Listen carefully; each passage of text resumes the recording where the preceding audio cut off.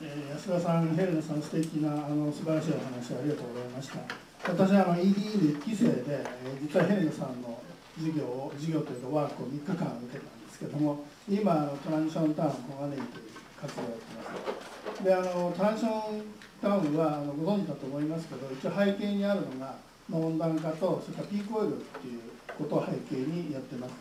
でまあローカリゼーションの一つなんですけど。でやっぱりあのピークオイルって必ず来てるっていうかもうかなりガソリンなんかじわじわ上がってきてますよね。でいずれあの必ず影響っていうか例えば、えー、TPP に代表されるそういう輸出でもってこうやり取りする貿易の方法とか、まあ、とアウトソーシングなんかもそうですよね。海外で今制作したりしてますけども。そういうのはあの必ずそのピークオイルの壁にぶち当たると思うんですけども。要するに輸出入が基本的に成り立たなくなる状況が必ず来ますよね。その時にあのこういう TPP っていうのは、えー、それによってこう崩壊していくっていうことも考えられると思うんですけどもその辺に関してはどうお考えでしょうか？I worry that our leaders, in their blindness, are able to push for massive um, exploration of resources. There's gas fracking now uh, all over the world, poisoning drinking water, drilling for oil, you know, deep under the sea, um, huge dams, nuclear power being promoted and pushed. So my concern is that for perhaps another 20 years, 20, 30 years, our blind leaders will destroy so much of society and the environment so I, I think it's important that we try to stop these treaties because I, I'm not sure that peak oil will suddenly slow down the system. Instead, right now what's happening is they're trying to push to make, as I say, the excavation even larger scale. Um, so I think it's important over these next years that society really wakes up and demands a change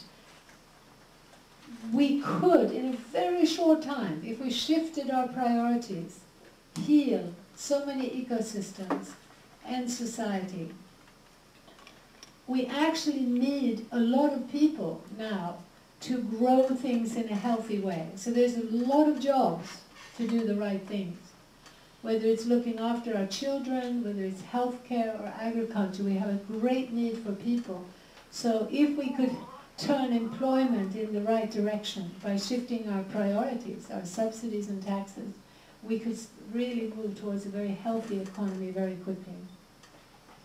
あのやはり私が非常に心配しておりますのがあまりにもこう先が見えていない指導者たちがあまりにもさまざまな資源を搾取しすぎてしまうのではないかというところでして例えばあのピークオイルという話もございましたけれどもまさにそのピークオイルを後倒しにするかのように例えばどんどんとガス田を掘ってみて、ま、その結果として飲み水がどんどん汚染されてしまったりあるいはあの油田に関してもどんどんどんどん海底の深いところまで行って掘削をするあるいは巨大なダムを作ったりまた原子力を推進したりと、まあ、そういったそのむしろ資源を掘り起こすという方向に、えより舵切りをしているような気がいたします。そしてやはりこういったものが20年、30年続いていくと非常に多くの環境が破壊されてしまうのではないのかというところが私が心配するところです。ですのでそのいわゆるピークオイルが来るからということで果たしてその今の動きを緩やかなものにしていくことができるのか、まあ、むしろ資源をもっと搾取しようという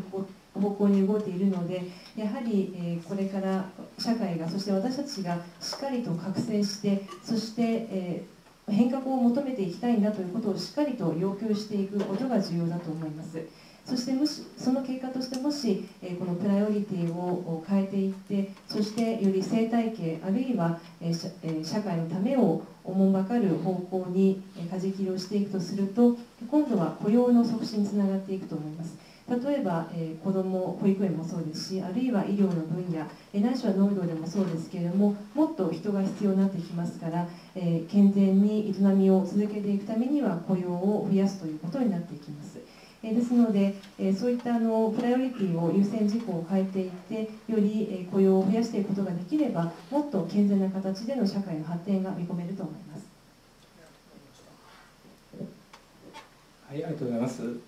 えー、と今出てきたそのピークオイルっていうのは、えー、と僕のお話の中でちょっと出てきましたけども、えー、石油の生産量っていうのが今ずっと右肩上がりできましたけども資源量に限りがあるのでいつかはこうピークが来てで落ち始めることは必ず自然の摂理と起きる。で私たちは今ちょうどこのピーク、えー、と石油の生産っていうのが、えー、頂点に達してこれから落ち始める時を生きているっていうま、その認識のことを、ま、ピークオイルっていうふうに言います。まあ確かにそこで時代が大きく転換する転換期であるんですけれども、まあ、今の平田さんの話のようにもっと悪い方向にこう進もうという動きもありますのでそこでどういう選択をしていくかということが問われているのかなというふうに思います。もう一人。